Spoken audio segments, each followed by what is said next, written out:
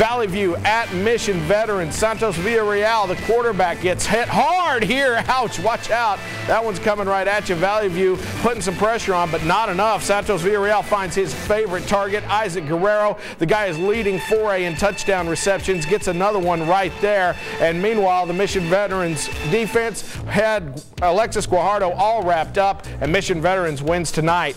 Final score in this one 31 uh, to 14. Veterans now 1 and 1 in district 32 4A, 3 and 2 overall. Valley View falls to 0 and 2 and 3 and 2 for their season.